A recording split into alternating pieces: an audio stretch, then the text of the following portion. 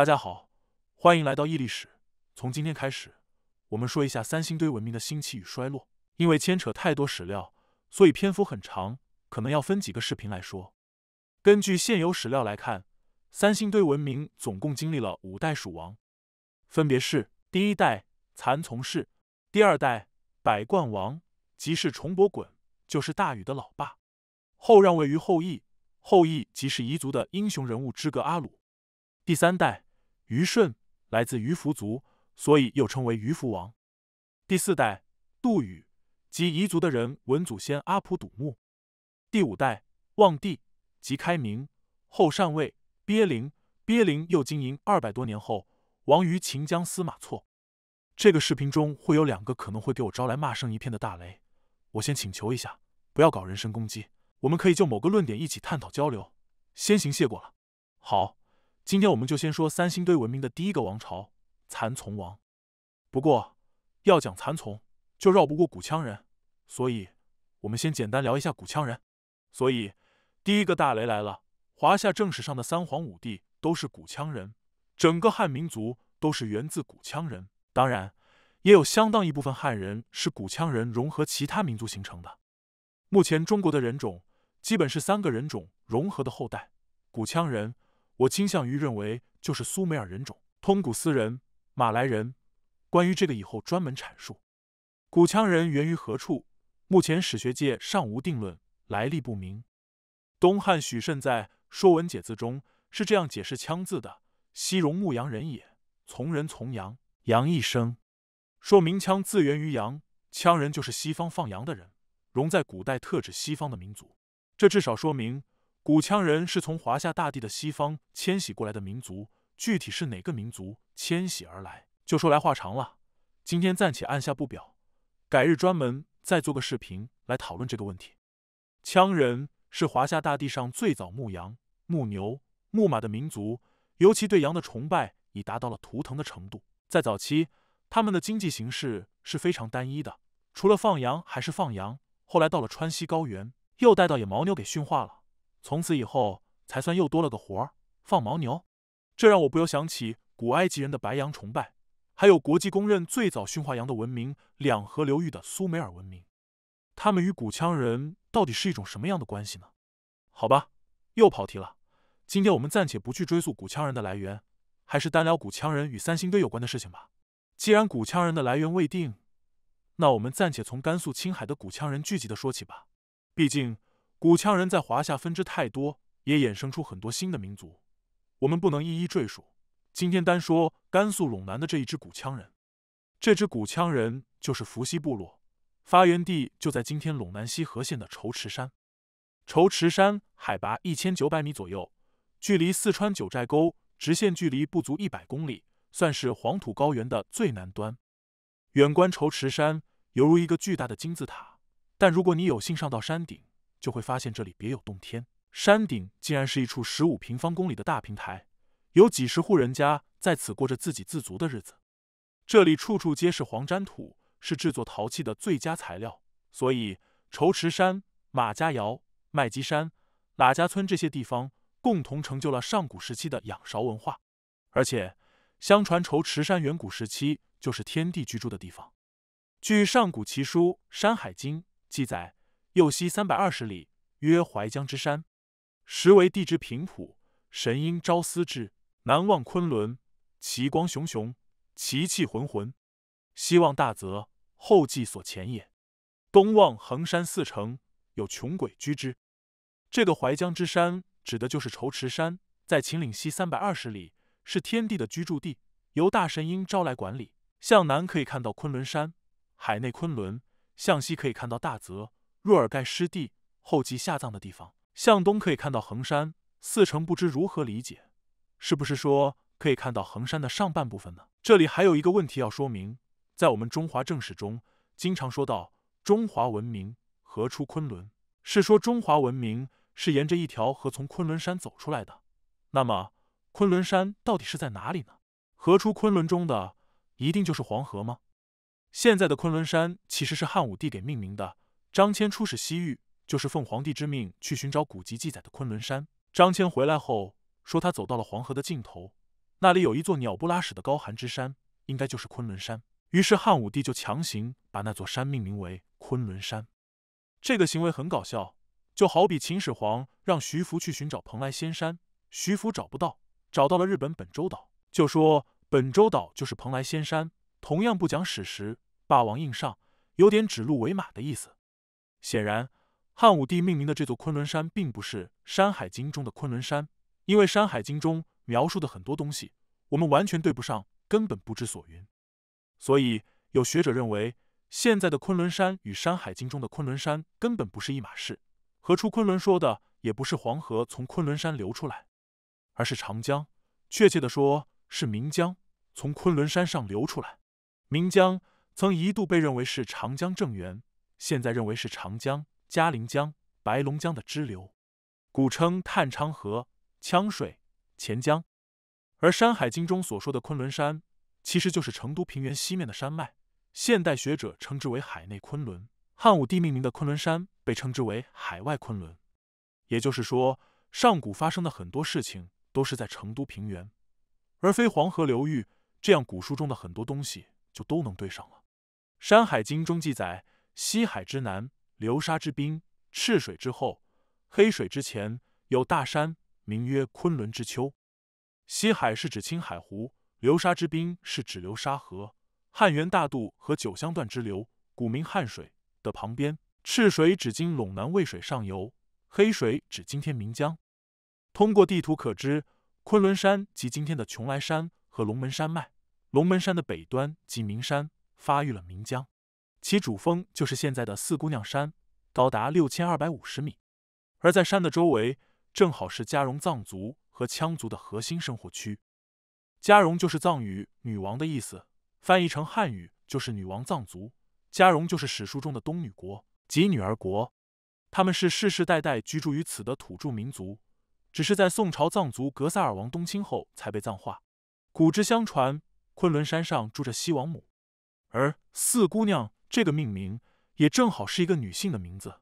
这难道仅仅是一个巧合吗？看这张照片，就是站在成都看四姑娘山。是不是显得很巍峨，像天地中柱？上古人把它当成神山，是必然的。《尚书·禹贡》中说：“大禹治水时，名山岛江，东别为沱。”大禹是羌人，出生在岷江边。《竹书纪年》中说：“帝禹夏后世，母曰修矣，修矣被坡，生于石纽。”看来神人就是神人。普通人剖腹产都是从腹部取，而大禹是剖开被部取出来的。《史记·六国年表》中说。禹兴于西羌，帝王世家中，皇甫谧注解道：“孟子曰：‘禹生石纽，西夷人也。’传曰：‘禹出西羌，是也。’而且十载大禹治水，三过家门而不入。如果治理的是黄河，他家在四川呢，怎么路过家门？可见大禹治水治的是成都平原的水患。所以，至今在都江堰宝瓶口的山上还有大禹庙。这就是第二个大雷。”华夏文明并不是发源自黄河流域，而是成都平原。好了，现在基本确定上古时期成都平原才是华夏的核心区域了。现在再简单说下当时华夏大地的几大势力集团。说起上古，就不能不提三皇。伏羲氏住在仇池山顶，最靠近天地，所以叫天皇。神农氏善种的称为地皇，女娲族善生育称人皇。伏羲氏、神农氏、女娲氏。这就是上古时期的三国鼎立。至于这三大集团的来历，又是说来话长，需要另开新章来一一说明，所以今天也不提了。当然，与后世的三国不同的是，这三个势力集团不是通过战争解决问题，而是通过联盟，大家轮流当轮值主席，像今天的欧盟。伏羲、神农、女娲也不是指的某个人，而是一个氏族首领，都可以叫伏羲、神农、女娲，也可能叫女娲二世。女娲三世等，在上古时期，祭祀可是个大忌，很多不能决断的问题都来祭祀问问天地的意思。因为是三族联盟，所以祭祀用的法台都是搭成三层平台，分别代表天地人三皇。因为三星堆出土的祭祀法台多是三层，所以这里就啰嗦一点，说个明白。这个三层祭祀台的对后世影响很大。现在三星堆遗址附近还有个三台县，而且据说。南美的玛雅人的法台也是三层，我想这可能不是巧合。三星堆遗址还出土了一个哮天犬模样的鬼东西，应该就是《山海经》中说的昆仑之丘的底座。昆仑之丘也是分为三层，下层称为梵童，也叫板松；中层称玄圃，也叫狼峰；上层叫层城，代表天庭。最顶上站一人，举着一个昆仑。这个昆仑就是三星堆出土的五福太阳轮，五条符分别代表金木水火土五行。坤的字面意思有后世、未来的意思，所以昆仑作为一个法器来讲，是古人想占卜未来的事情，想用眼睛看得更远一些的意思。天皇伏羲部就是一个崇拜眼睛的氏族，不管是仰韶文化出土的陶罐上，还是三星堆文明出土的器物上，多有眼睛出现。包括青铜人面具上的纵目或大眼袋。全球已知的文明中，崇拜眼睛的文明很多：古埃及人、古巴比伦人、腓尼基人、迦太基人等。三星堆出土的这个昆仑法器，现在官方名称为五福太阳轮，与彝族十月太阳历也有很大关联。上古时期，中国先民最先用的就是十月太阳历，一年分十个月，一个月三十六天，一年三百六十天，所以在先秦时代。三十六是个很常用的数字，比如三十六计、三百六十行、三十六天罡、七十二地煞。只是后来炎帝与黄帝部落合并后，炎帝族的十二月历法更适合农业生产，才转而施行炎帝的历法，就是我们现在的农历。但这都是后话，至少在三星堆时期使用的历法还是十月太阳历，所以三星堆出土的很多文物上都有太阳轮的形象。不过，在成都平原的另一处文明遗迹金沙遗址中，出土了一个太阳神鸟，就是现在的成都市徽。其实还有一个名字叫年轮，算是昆仑的变体。中间四只鸟代表一年有四季，十二个枫叶代表一年十二个月，十二个鹰角加十二个羊角代表着二十四节气。显然，到了三星堆文明一千后的金沙文明时期，成都平原上已开始使用炎帝的阴阳合历，而彝族。完全继承了十月太阳历，一直用到现在。全球使用十月太阳历的民族，已知的还有苏美尔文明与美洲的玛雅文明。好了，啰啰嗦嗦说了那么多，就是给今天的人物出场先做个铺垫。下面我们接着说回鹘羌人。大概在七千年前，在今甘肃陇南城县一带聚集的低羌族，因为率先开始半牧半农耕的生产方式，所以开始了一个人口膨胀期。随之而来的就是顺着河流向外扩张。有一支沿着渭河向北走，形成了华胥氏，也就是皇帝的那一支；有一支沿汉江向东来到江汉平原，形成了神农氏炎帝一支；向南沿嘉陵江、涪江走的一支，则与南方的女娲氏在四川盆地融合成一个新的部族，叫燧人氏。为什么叫燧人氏，并不是我们正史中说的钻木取火，而是用竹子在地上打洞，引出地下天然气与盐卤水。我们都知道。四川盆地古称古西海，都是海水。后来海水干了，才有人类活动。记得以前去西藏旅游，看到青藏高原处处都有鹅卵石、贝壳，当时还有点奇怪。后来了解这些史料后，才明白了。现在四川遂宁、南充一带就是当时的盆地，直到现在还在开采盐卤与天然气。大英县的卓铜井遗迹就是古人抽取盐卤制盐的地方。我想遂宁这个地名。是不是燧人是在这里安宁生活的意思？